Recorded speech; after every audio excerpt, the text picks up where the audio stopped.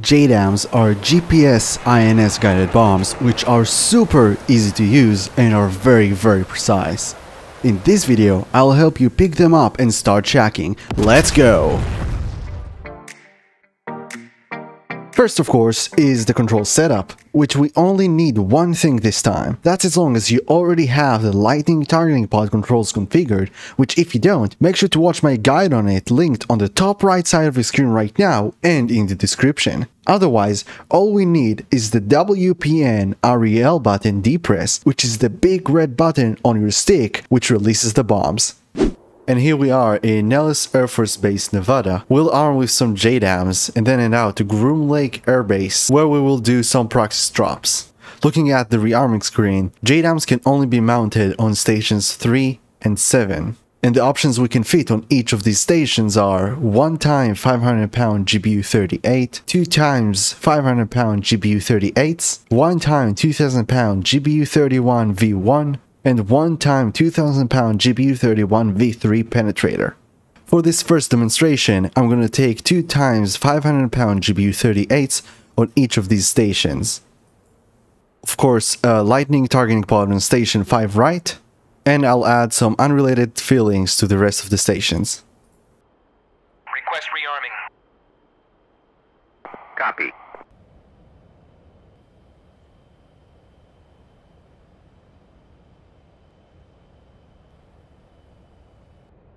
Rearming complete.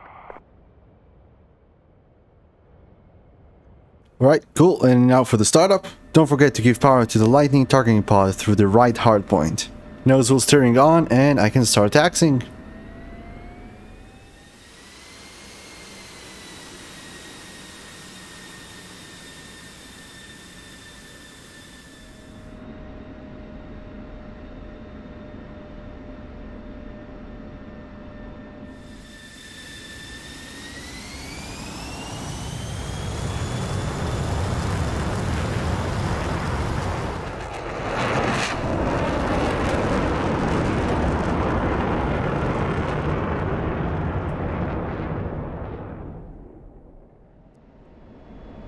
So, because JDAMs are GPS INS guided bombs, just like our jet, they need to be aligned. To start the JDAM alignment, go into air to ground mode, set master arm to on, and on the JDAM SMS page, press power on on the top right side.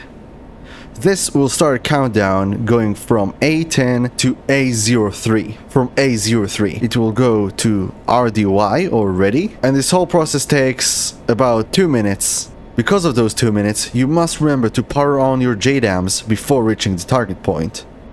A03 with a line indicated at the bottom.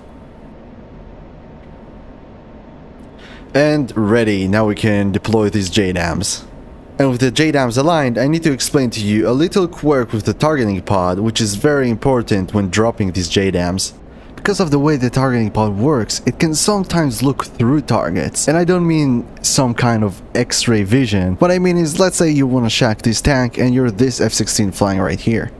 If you aim at the very top of the tank, right here you can see that I'm aiming at it, the targeting pod isn't actually aiming at it or looking at it. It's looking through it with a direct line to the ground. So, if I were to drop the JDAM right now, it will land right here.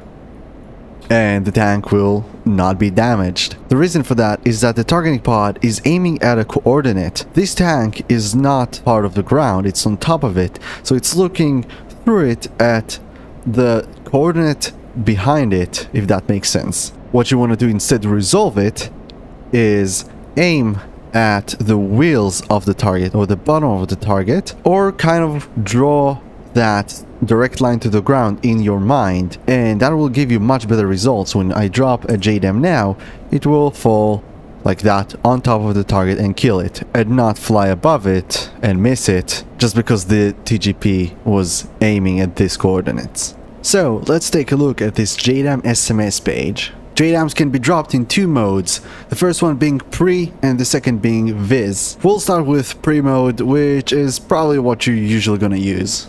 In pre-mode, we use any kind of SPI or sensor point of interest to tell the JDAM where to go. That can be a SPI from the TGP, from a waypoint, from the air-to-ground radar or any other kind of SPI.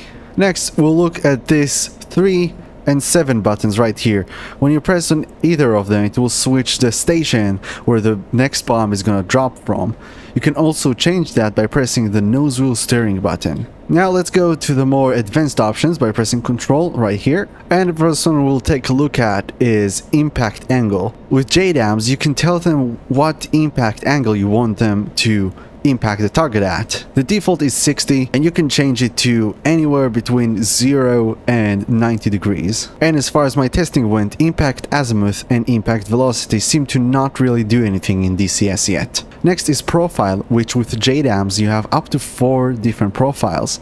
And that basically lets you save four different types of settings, so you don't have to change everything each time you want to drop a bomb with a different parameter. As an example, for profile 1, I will change the impact angle to 45 degrees, then press profile 2, and you'll see that profile 2 is still on that default 60 impact angle. If I go all the way back to profile 1, it is what I set it to, which is 45 degrees impact angle. Next is arming delay, which unlike laser guided bombs, is how much time it's going to take the bomb to arm itself after leaving the jet. It's not how much time it's going to take it to explode after hitting the ground.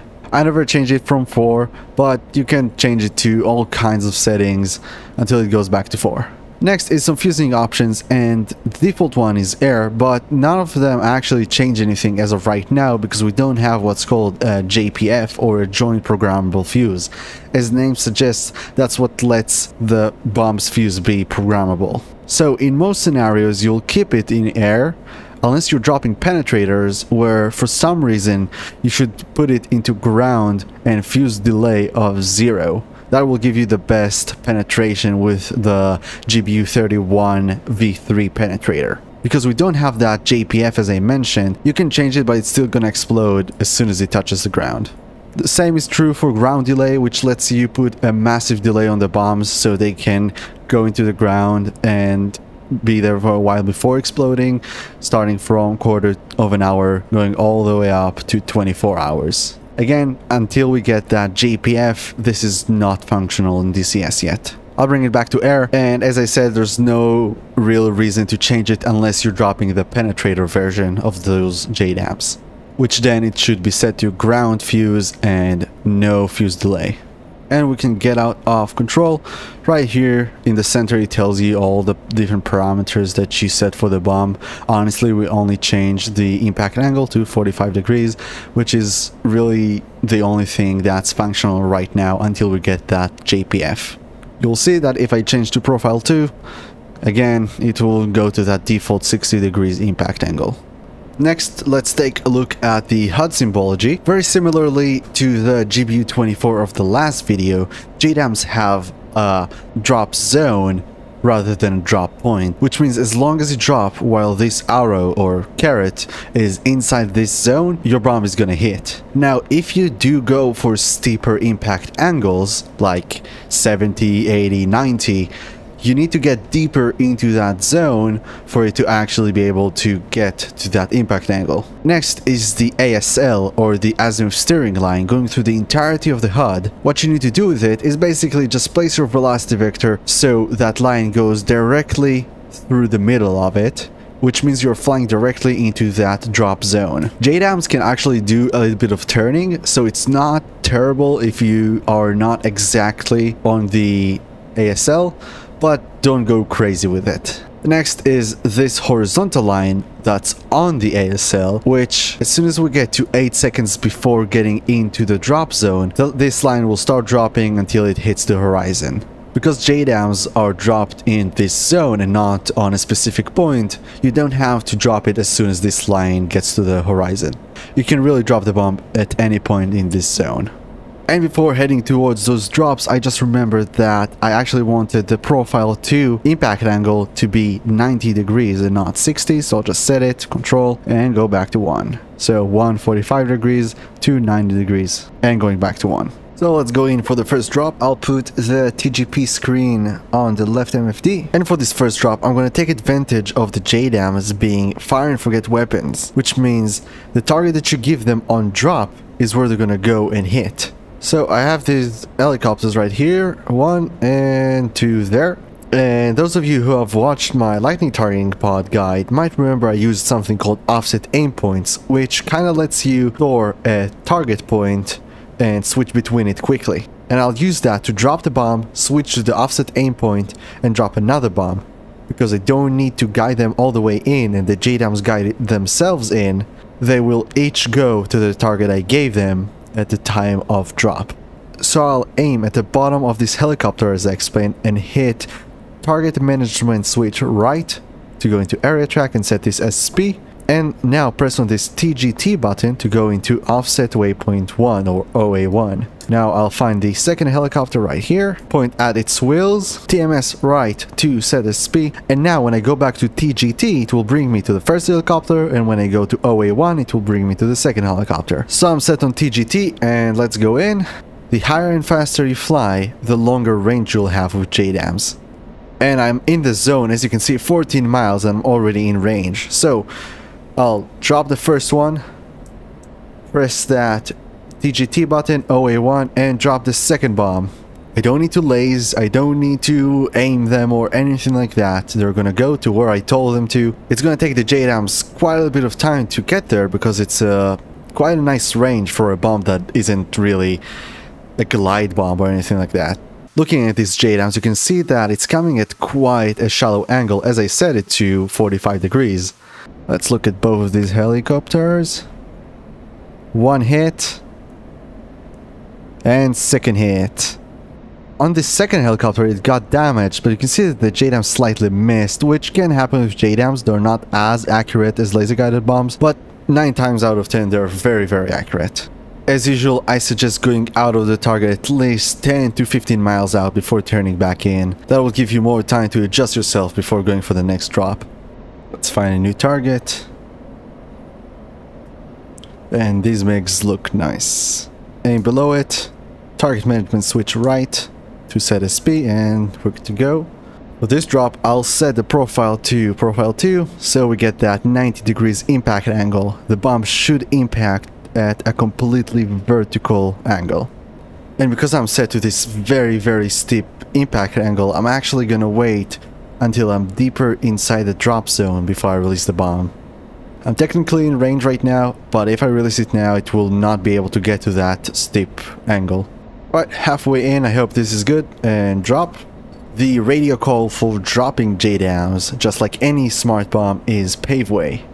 After dropping a JDAM, you're actually getting uh, time to impact countdown on the bottom right of the HUD. As you can see right now, it's at 20, 19, 18, it goes down. It's an estimated impact time, so don't count on it to be exact. Looking at this JDAM, you can see it's coming in at a basically vertical angle. Shack. And I have one last JDAM, so I'll go drop it on another training target. I hope you enjoyed the video. If you did, be sure to like, subscribe, and ring that bell. JDAMs are among my favorite weapons in DCS and I'm sure they'll quickly become so for you too. Thank you so much for watching, land safely.